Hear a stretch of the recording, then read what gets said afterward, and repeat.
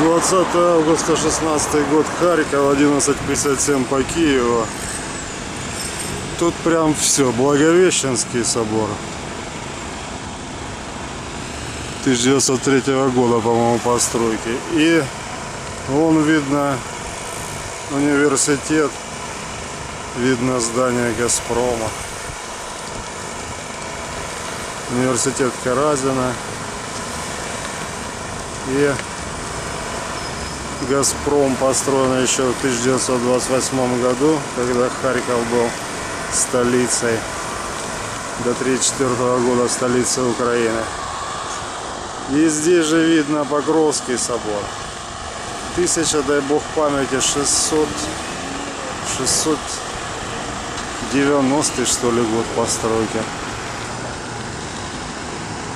И тут же Успенский собор. Долгое время самое высокое здание в городе Харькове было.